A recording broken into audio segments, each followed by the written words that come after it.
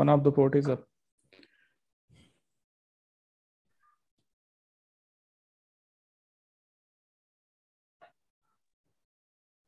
Now both port are up. Now I would send a packet from this PC to this PC. So this is a packet, take it, put on this PC and then put on this PC and see here right now. On PC1, there is no functional port. Why? I'm trying to send the packet, but this is not working. I'm trying to send one packet from here to here, and this is showing on PC0. There is no functional port. So what we, it is required? It required one IP address, right? We need to configure IP address. Okay, so in next topic, we will talk about what is IP address and why is, is it important. So if the device which is connected on the network do not have IP address, they are not going to communicate to each other. Okay, that's why you would see it here.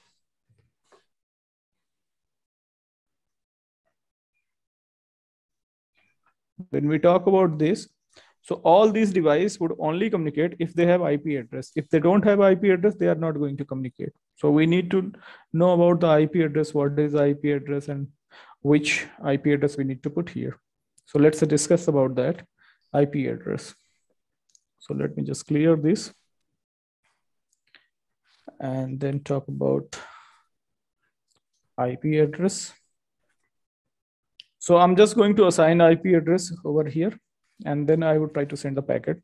So uh, on simulator, you can you can click on PC and go to desktop. Here you would get option to configure IP address. IP address you can configure static or you can configure DHCP. We will talk about what D, what is DHCP. So first off, let's go. First of all, let's go to static IP address. So I'm just going to assign IP address, very common IP address 1.1 to this. And then I would assign IP address to this as well.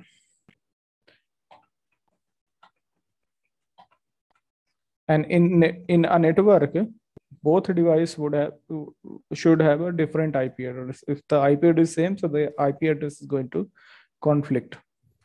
So let's define two different IP address and trying to send packet.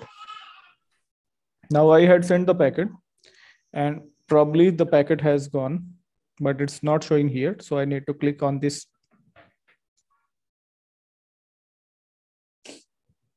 This arrow. And this is going to show me right now the communication is successful between PC1, PC0 to PC1. So this is PC0, PC1 because they have the IP address and that's why they are able to communicate. If they don't have IP address, they would not be communicating. Okay. So IP address is very important. Let's understand about the IP address. What is IP address and what all the types of IP address we have. Okay.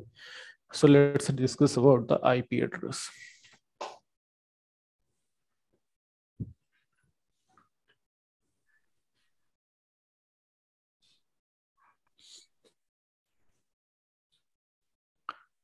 So I'm going with the easy one, which is IP address. Can you guess what is full form of IP? Internet it's, protocol. Right. It's an internet protocol. So IP address is an internet protocol address. And uh, if we talk about IP address, it's a logical address. Logical address. Why this is known as a logical? Because you can change it. Okay.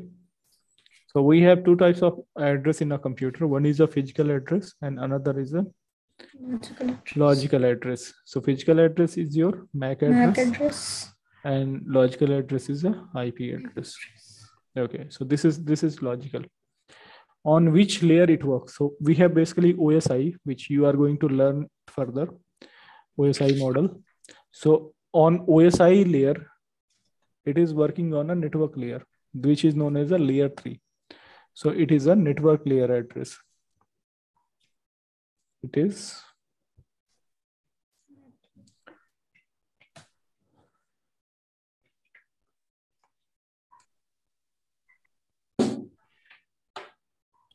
it is network layer address.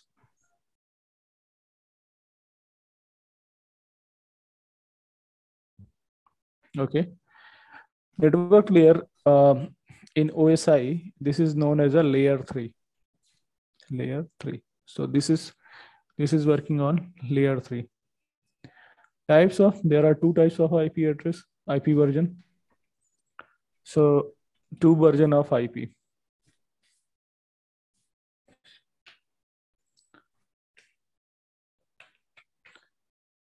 Two version of IP. Sorry.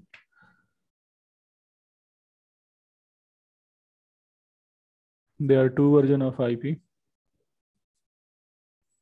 What are the two version? One is IPv4 IPv4 and IPv6, right?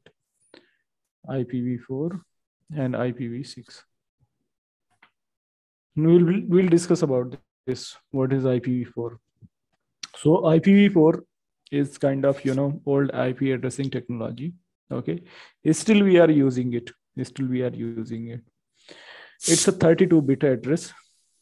Oh, in IP version 4 we have 32 bit, and in IP version 6 we have 128 bit. why IP version 6 came. The reason is in IP version 4, there are very, the IP version 4 is supporting very uh, limited, you know, range. Yeah, uh, range or IP. And that's why this was not fit to current age. Okay. So uh, scientists just go and evolve this IP version 6 okay because now nowadays you would see earlier when when networking was started so net in in in a network there was very less devices and if there was very less devices you know so 32 bit was sufficient to assign the ip address to each devices. But nowadays if you talk about uh, number of devices in the network you can take the example of internet. So internet is a you know biggest network. And in this network you would see lot of devices. And if all devices required addresses so ip version 4 is not sufficient. So that's why scientists uh, you know evolve ip version 6 because ip version 4 range was exhausted. So this is 32 IP version 6 yeah we use ip version 6 for example you can see in my computer i have ip version 6 let me show you. Okay sorry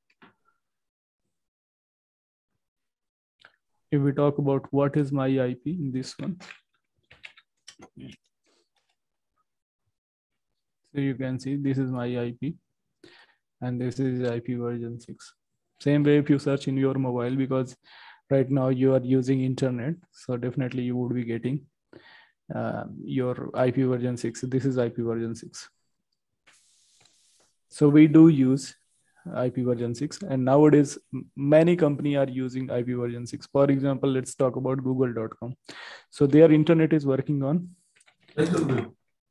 ip version 6 their their server is working on ip version 6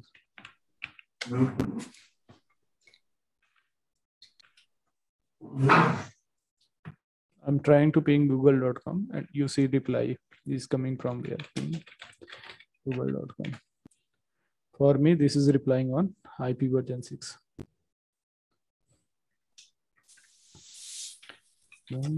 Yahoo.com.